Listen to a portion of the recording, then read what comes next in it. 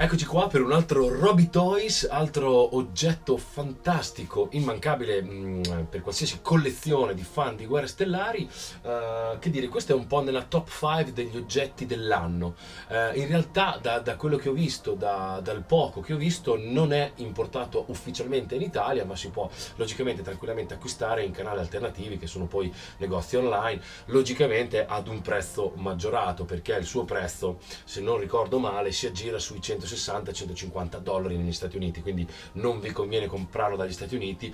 Eh, è bello che non sapete neanche di cosa sto parlando, ma comunque parto con questa cosa qui. Comunque dicevamo 150-160 dollari negli Stati Uniti, non conviene comprarlo, uno perché c'è da aggiungere la spedizione, due perché c'è sicuramente questa maledetta, insensata e tiran- tirannica, come cacchio si dice, dogana che ci impedisce di poter acquistare questi oggetti bene o male a un prezzo un po' più onesto. Quindi eh, questo si trova in Italia sempre per per canali alternativi, diciamo così, dai 200 in su. L'ho trovato 200, 220, 250, 270, bla bla bla. Comunque direi che il suo prezzo a livello europeo è sui 200-220 euro. Di cosa parliamo? Mm, innanzitutto questa puntata la devo fare eh, tutto d'un fiato, non posso rifarla, quindi scusate per gli errori perché appunto tanto che ci sono farò anche un mega unboxing in diretta. Um, allora, dicevamo, c'è un sacco di cose da dire e quindi uh, mi, mi, perdo. Allora, questo qui è uno dei, degli oggetti must, secondo me, del 2015 ormai passato. Quindi abbiamo la spada di Kylo Ren che abbiamo già recensito qualche mese fa, abbiamo BB-8 della Sfero, anche questo l'abbiamo recensito, e poi dovrà uscire, non ho ancora capito se sia già disponibile o meno, il, l'elmo di Kylo Ren versione giocattolo dell'Asbro che però sembra eh, da, da, alcune foto veramente molto accurato se non per il fatto che comunque è un plasticone e si spacca a metà eh, in orizzontale quindi non è proprio eh, perfetto ma secondo me previa qualche modifica si può perfezionare. E poi altro oggetto appunto di, di, di culto e fantastico è questo questo giocattolone mega galattico che io non potevo assolutamente non avere. Perché? perché vi faccio vedere questo TIE questo qui è un TIE Fighter uh, vecchia trilogia, trilogia classica chiamatela come volete e um, ha una cosa differente. Facciamo un attimo una, una, una storia velocissima. Um, ci sono un paio, eh, adesso non sono espertissimo di giocattoli, eh, ammetto questa mia grande lacuna, però eh, ho visto che eh, sono usciti sempre un paio di tipi di TIE Fighter, tuttora anche per quel discorso di episodio 7 hanno, eh, hanno, hanno queste due differenze, ovvero c'è questo che è proporzionato, quindi abbiamo le ali che sono belle grandi, belle ampie col cockpit proporzionato come vediamo nel film e poi c'è la versione, le prime versioni vecchie, queste di qualche anno, le prime versioni vecchie avevano le ali un po' sproporzionate, quindi erano piccole e l'effetto non non, non, non, tornava, magari non ci si faceva caso subito, ma l'effetto non tornava. Mentre eh, qualche anno fa hanno fatto questa serie decisamente migliore, tutti i mezzi sono proporzionati, dovrebbero essere anche in scala, se non ricordo male, per action figure da 3,5 pollici, e, e, hanno fatto questa cosa. Anche questo bellissimo, l'ho trovato usato, una trentina di euro, fantastico, anche questo non potevo averlo. Ma perché ho questo? Perché qui dentro, signori e signori, c'è il giocattolo, chiamiamo giocattolo perché non è un oggetto puramente da collezionismo, è un vero e proprio giocattolo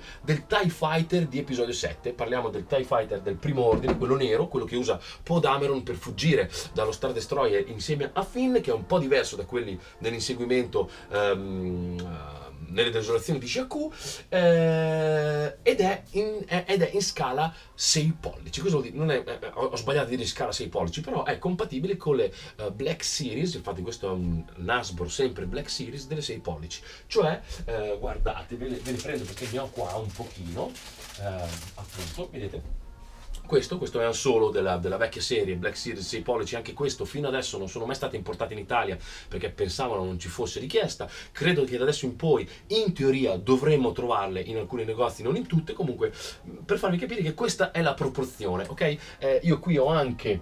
Um, la versione del pilota da 3 pollici e mezzo. Quindi questo qui, questo pilota qui si adatta a questo tie, questo qui si adatta a questo tie come proporzioni.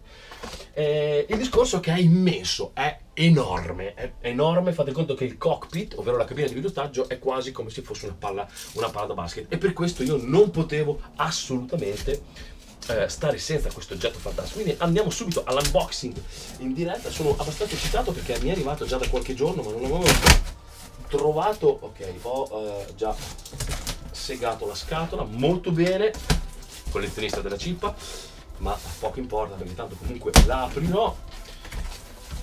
Faccio un po' di pubblicità al venditore che credo qualcuno ne abbia ancora che è stato molto gentile e disponibile mi ha anche aiutato nella spedizione cercando di risparmiare il più, il più possibile. Anime Toys di Milano che saluto, saluto Giorgio ed ora è il momento di, fan, di, questo fantastico e gigantesco unboxing. Allora direi che per rendere la cosa un po' più teatrale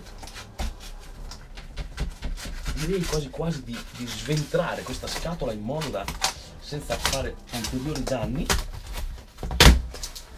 perché così ve la mostro. Eccoci qua. Oh mamma mia se è gigante sto coso. Super mega catafalcone salamandrone giocato lo salamandrone dell'anno il salamandra toys.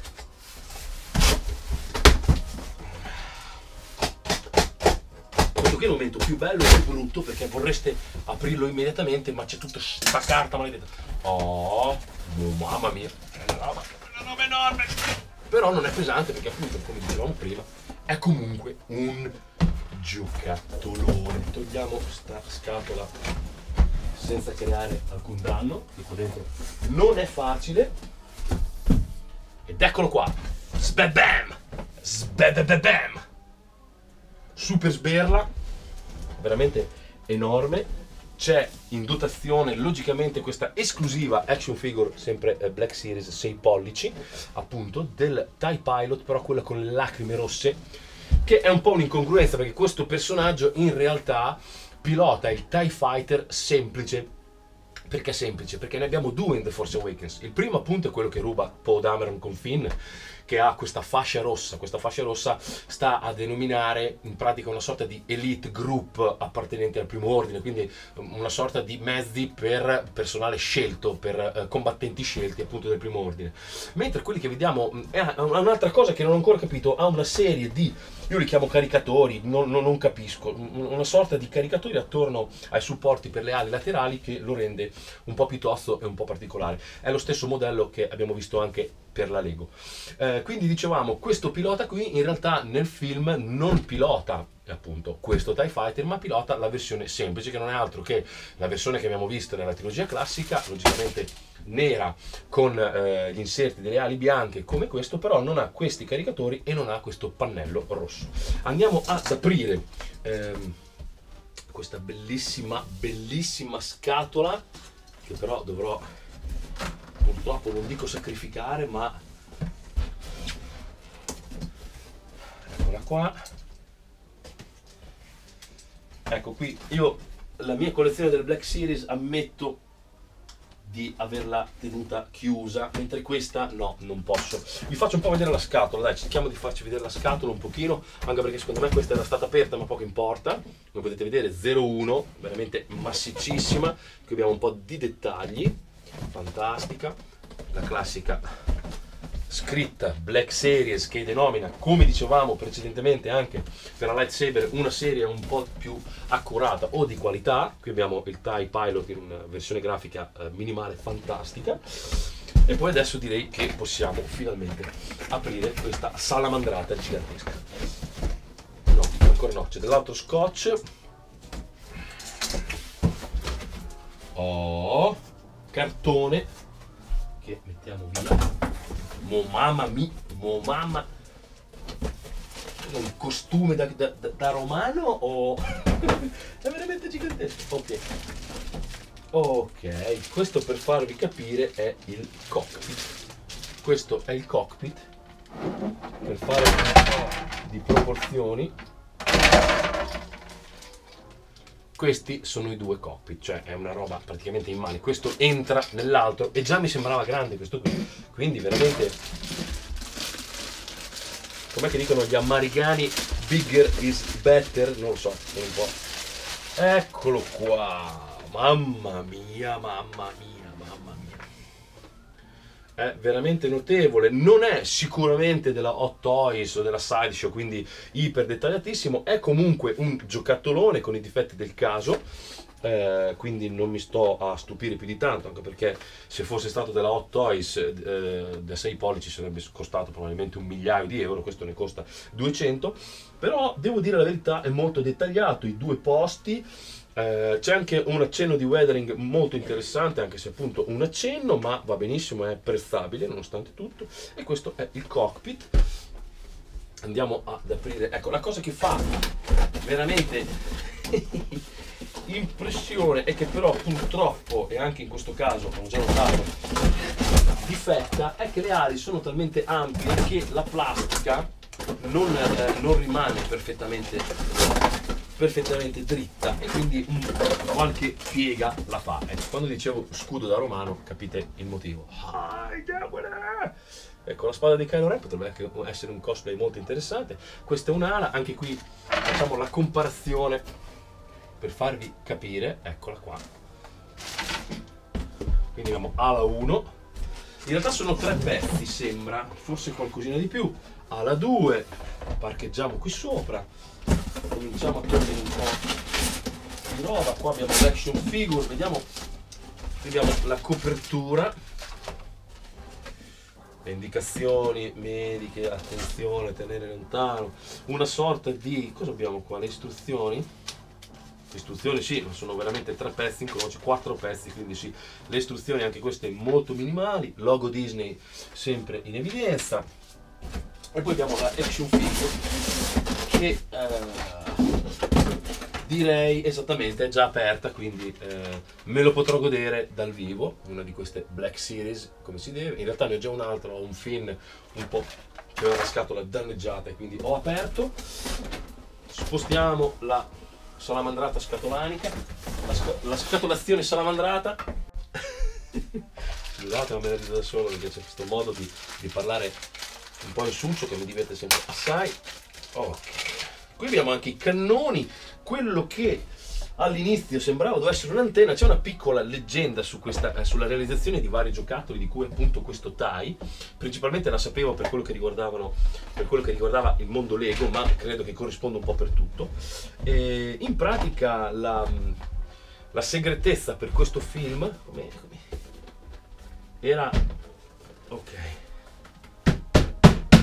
era enorme come, come, tutti sapete e quindi quando dovevano realizzare le varie case di, di giocattoli, eh, appunto questi modelli, avevano dei progetti che però sembra non fossero precisi al 100%, lasciavano um, un po' di spazio all'immaginazione. Per esempio, il, um, Kylo Ren, il set del, dello shuttle di Kylo Ren, eh, come sapete, se, o se non sapete controllate in rete, ha le ali dritte, quando invece nel film sappiamo che si aprono un po' per ricordare lo shuttle Lambda di Vader eh, nella trilogia classica. Ecco, nel modello Lego no, sono fisse, pari pari, non si possono aprire, tanto che molti appassionati come me, insomma, l'abbiamo modificata, non, non poco, eh, no, non sicuramente facilmente, e l'abbiamo aperta perché questa intolleranza, questa non accuratezza era intollerabile, appunto.